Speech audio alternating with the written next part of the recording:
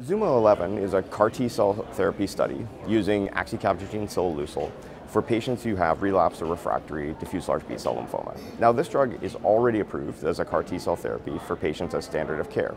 What this trial does is it combines axi-cel, the CAR T-cell therapy, with an antibody that's targeting something called 4-1BB. And this antibody, we are wondering, based on the trial, whether or not this will modify the effects of the CAR T cell, perhaps making them um, expand more, or perhaps making them persist longer inside of the patient, or perhaps modulating the signaling so that there may be less toxicity.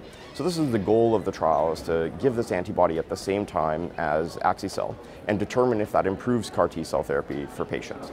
Currently, we're in the dose finding stage where we're trying to find the best dose of utomilumab, which is the anti-4-1BB antibody.